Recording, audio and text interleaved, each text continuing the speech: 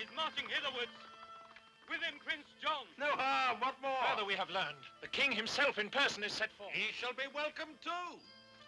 Where is his son, the nimble-footed madcap Prince of Wales, and his comrades that daffed the world aside and bid it pass? All furnished, all in arms. For God's sake, cousin, stay till all come in. Oh, gentlemen, the time of life is short.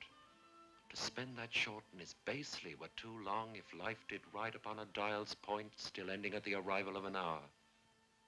And if we live, we live to tread on kings. If die, brave death when princes die with us.